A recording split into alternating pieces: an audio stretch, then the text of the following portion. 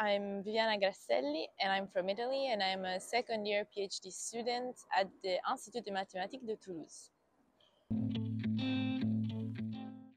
I did all of my studies in Italy. So I did my bachelor's in mathematics in my hometown at the Università dei Studi di Perugia. And then I did my master's also in mathematics at the Università di Pisa. Uh, I studied the Schrodinger operator, which is a differential operator that comes from quantum mechanics. And uh, I'm interested in the spectral properties of this operator, so the properties of the eigenvalues.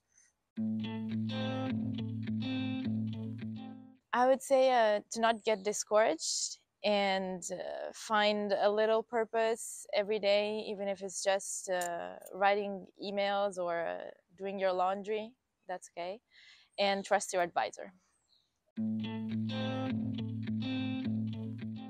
Uh, so for foreign students, there is a service that helps you uh, figure out how to do to install yourself and do paperwork.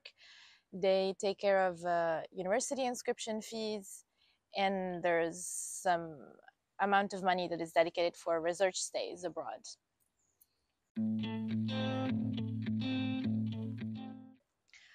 Uh, I think it's a, a, a good size of a city, so you can get around and enjoy different neighborhoods. And I find plenty of things to do. I always find uh, live concerts if I want to go in the weekend. And if you like climbing, there are nice climbing gyms.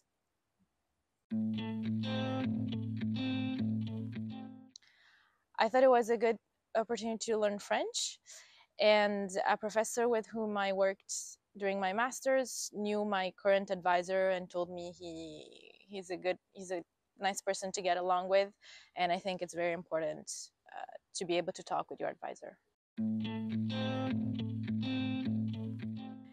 Uh, I don't know at all, uh, but I hope uh, enjoying math in whatever way. I don't know.